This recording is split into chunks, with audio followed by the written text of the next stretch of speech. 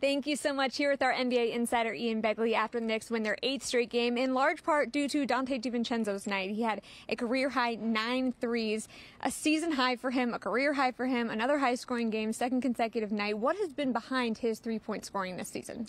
Michelle, I'm going to go back to last season when Donte was in Golden State because he's talked before about watching Steph Curry and how Steph prepared and whether he went one for 10 in a game or 10 for 10 in a game, he was back in the gym the next day shooting a thousand shots. So Donte picked up on that. He adapted it. He adopted it, and this is the result. He's just shooting the ball phenomenally. Tom Thibodeau also mentioned as soon as he got in, as soon as they got Donte, he was in the gym working out, working on a shot. So it's a product of hard work.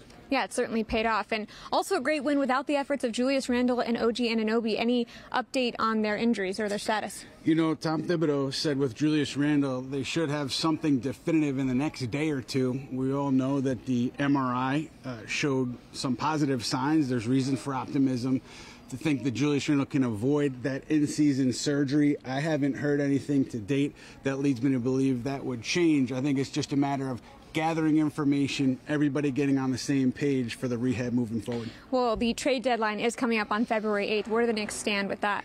Yeah, you know what? It's interesting because pre Julius Randle injury, there was some thought to kind of stand pat because the team was playing so well. And I think that also tells you how they feel about how Precious Achiuwa has done lately, just the depth.